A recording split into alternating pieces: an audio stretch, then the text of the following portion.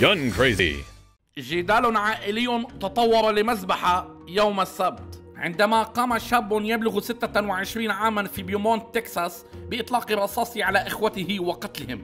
الشرطة تبحث عن المدعو جورج فريدريك هاوكنز المتورط بمقتل إخوته ديرال وأنتوني ورشوان.